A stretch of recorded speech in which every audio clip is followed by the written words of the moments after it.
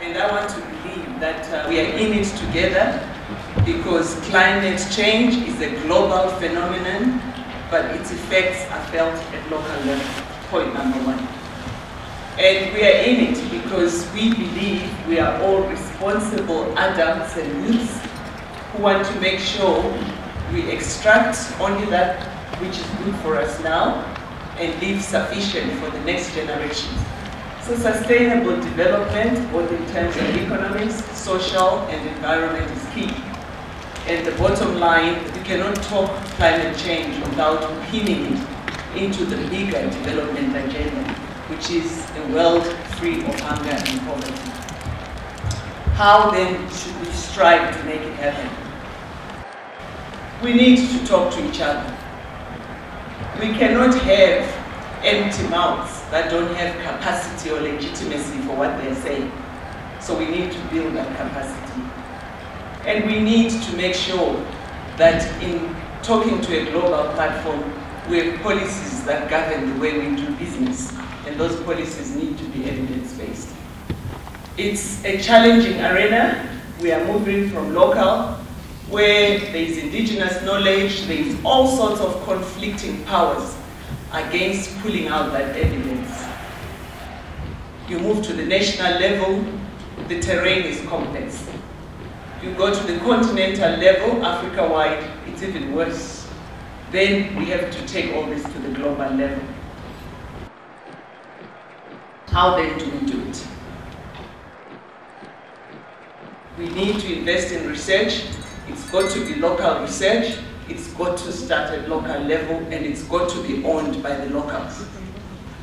The statistics are clear and uh, for us in Africa, agriculture remains the backbone of our economies.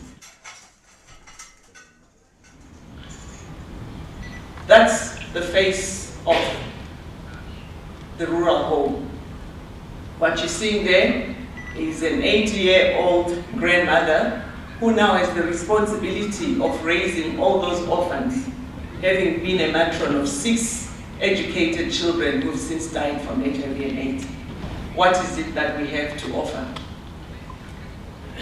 Women are the backbone of the African economies, but we have not done enough to amplify their voice and to give them the space to create policies that will meet them halfway. Now all this, ladies and gentlemen, I'm sharing to say, before we can even talk about intervention, we need to understand the local.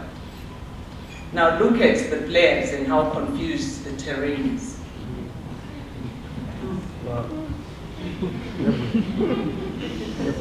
Yeah. Now, the issue is find your space, claim your territory, and hold strong. Otherwise, they will push you out. We have our own universities in Africa. We've left research, unfortunately, to independent individual consultants. And uh, researchers at our universities are in the business of teaching. First, because there is no money. So what they teach is what they were taught or what they Google. But they are so scared of following the development agenda. How do you teach the next generation to, to, to lift themselves out of poverty if you cannot follow the development agenda. There is no investment in developing databases that are communally owned. We continue to use uh, written publications to disseminate our information, and yet we know some of our countries have up to 40% illiteracy levels.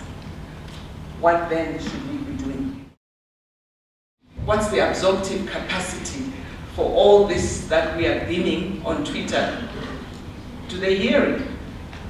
And what are the social networks that exist around them to support their movement up the ladder?